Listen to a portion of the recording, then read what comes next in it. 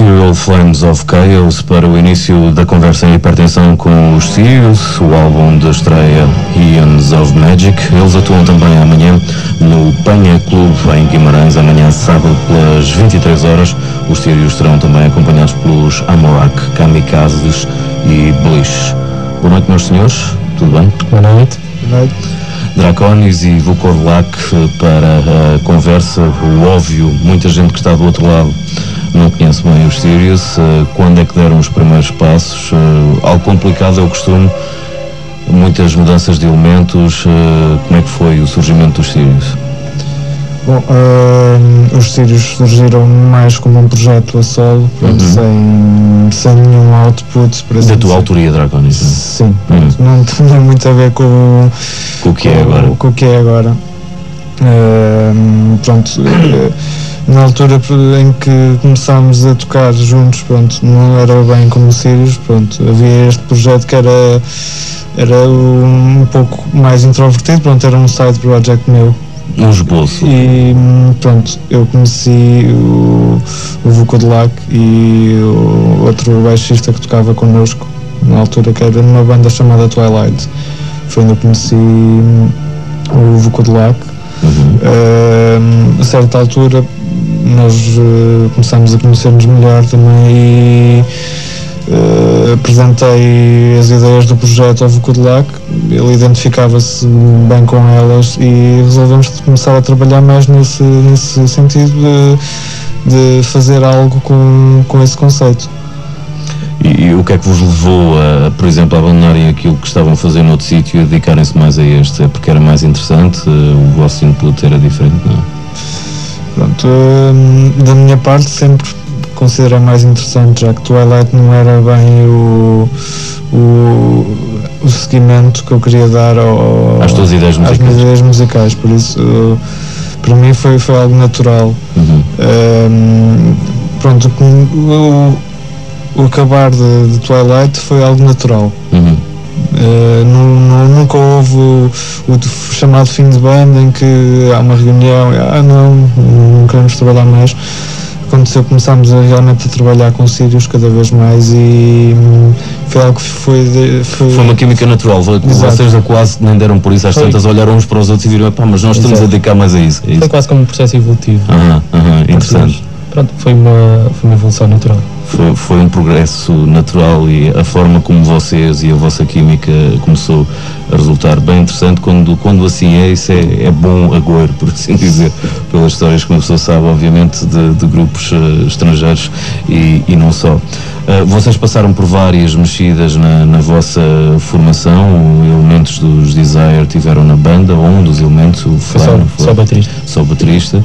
Uh, tu agora, Vocodelac, uh, assumes as duas posições, baterista e teclista, é um bocado complicado, não? Unicamente em estúdio. Sim, é, unicamente em estúdio. Era impossível de fazer. Ou viver, não conseguimos. Mas neste momento temos um, temos um teclista de sessão que nos acompanha nos concertos, por enquanto. Uh, mas em estúdio vou continuar eu, até porque, uh, a nível de composição de teclados, principalmente. Hum. Resto. Pronto, uh, acho que tomei esta decisão, decisão principalmente depois de. Um, verificar que todos os bateristas que por lá passavam nem sempre pronto, normalmente não tinham a evolução que nós precisávamos para a banda e muitos deles eram boas pessoas e até chegámos a tornar-nos amigos de alguns mas não era exatamente aquilo que queríamos e além disso eu mesmo a nível pessoal sempre preferi tocar bateria ao vivo do que ah, teclados um, mas pronto, também gosto muito de compor a nível orquestral e vou manter como nesse campo. nas teclas também. Porquê é que é tão difícil, é pá, aqui no nosso meio musical arranjar bons bateristas ou bateristas pelo menos satisfaçam eh, essa crise é constante das pessoas que se sentam desse lado às vezes às vezes Porquê é que vocês acham que isso acontece? eu acho que hum, tem a ver com, com a própria sociedade também é também a nível de educação é, nota-se por exemplo a experiência que nós tivemos no termos ido gravar na Noruega nota-se que a facilidade com que há um, uh, aprendizagem musical. Uhum. As pessoas lá estão musicalmente educadas. Desculpa, não percebi. As pessoas lá estão musicalmente educadas. Ok, cá não acontece isso. É? Não há facilidade que há lá, por exemplo, para aprender um instrumento. Uhum. Uh, Uh, Nota-se que as pessoas que trabalham neste meio, mesmo dentro deste estilo musical, são bem aceitos no que fazem, ao contrário de cá, pronto, é um bocado um escândalo há mais para certas famílias uh, tocar uh, este estilo de música sem, sem haver pronto, aquela. Aquele estigma, não é? Exato, das famílias e portanto é logo um problema social acho de, e de ideológico já de, em Portugal. Enraizado nas pessoas que É.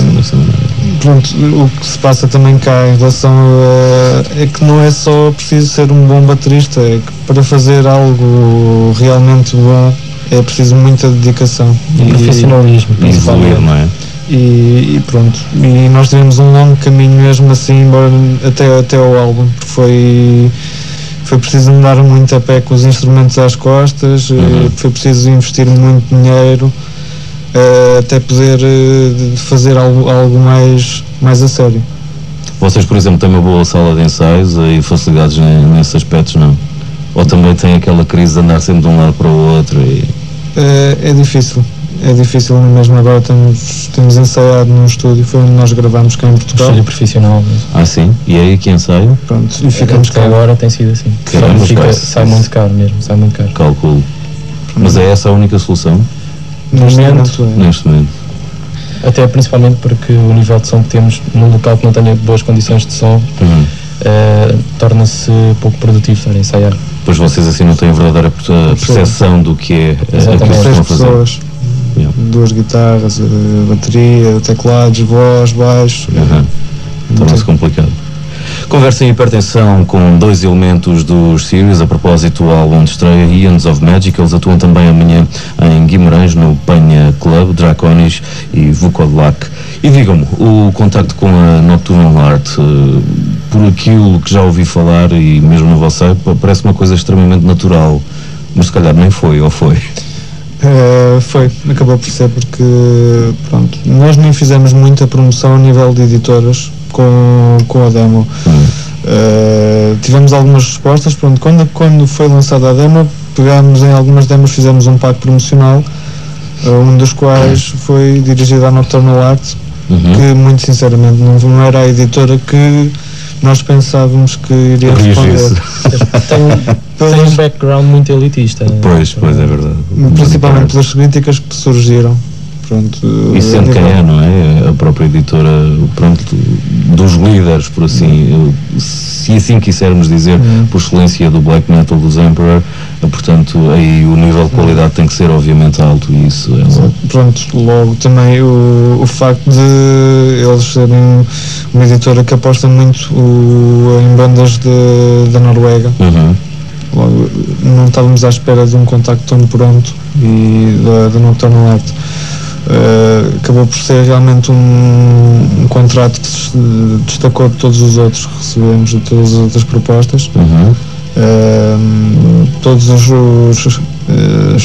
as ideias da banda e foram discutidas com a, com a editora, portanto não foi nada deixado ao caso, foi, demorou uns dois meses ainda até assinar o contrato, porque não foi não foi realmente aquilo de oferecerem um contrato e pronto, houve um processo de conhecimento mútuo eh, Um compromisso entre ambas, ambas as partes, ou seja, o que acontece muito em editoras independentes, e isso pela experiência que, eu- que, eu, pronto, que eu tenho e que observo, é que em muitos casos pega-se numa banda, assina-se e faz-se, e depois não há ah, um processo de desenvolvimento, ou seja, acompanhando a banda, eles querem obviamente e essas editoras eh, que trabalham de outra forma eh, querem saber qual é que é a vossa disponibilidade para espetáculos, porque muitas vezes acaba-se por assinar projetos que são fantasmas, ou seja, os elementos acabam por sair a seguir à edição do álbum e nós temos alguns exemplos, se calhar não vale a pena estar a lembrar, e, e é natural que eles façam as coisas dessa maneira, isso parece-me bem interessante e extremamente inteligente, pelo menos no mercado hoje em dia. E foi essa a atitude, vocês ficaram obviamente admirados, não é? Exato, até que também a Nocturnal Art agora é, é uma editora em desenvolvimento, eles estão a apostar muito no profissionalismo Uhum. e está-se a notar cada vez mais o crescimento da editora. É. E eles vão, por exemplo, a apostar eh, noutro tipo de, de bandas, sem ser norueguesas, já, já vos confessaram isso, não? é? não, não sei Vocês são a exceção à regra, olha que bom. Não, não somos a única, Não. mas somos das únicas. Sim. Eles, eles estão a assinar eh, até outro tipo de bandas, mesmo por exemplo Red Harvest, que foi a última